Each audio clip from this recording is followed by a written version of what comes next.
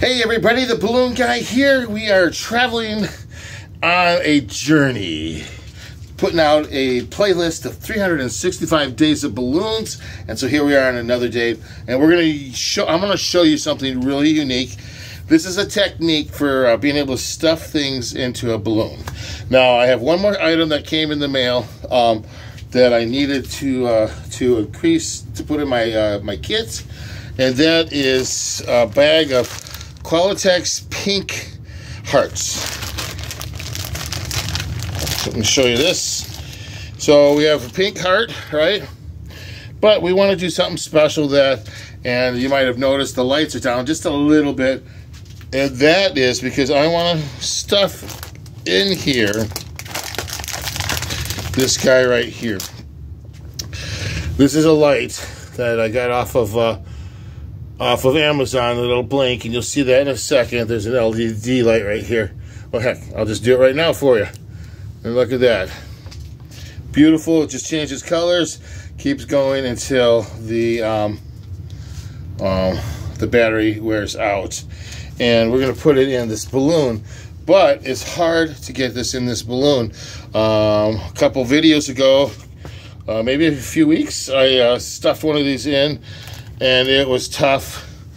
There's a gadget out there, and that's this guy right here. And this is the this is what I wanted to show you. And this is this is used for farming with animals, and that's all I'm going to say. Um, this is uh, yeah.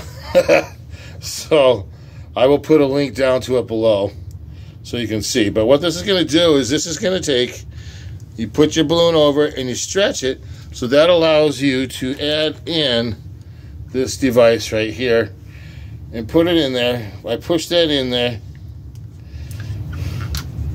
pull it off, and now we have it. So we're ready to go. Go and blow it up. Right? Just like that.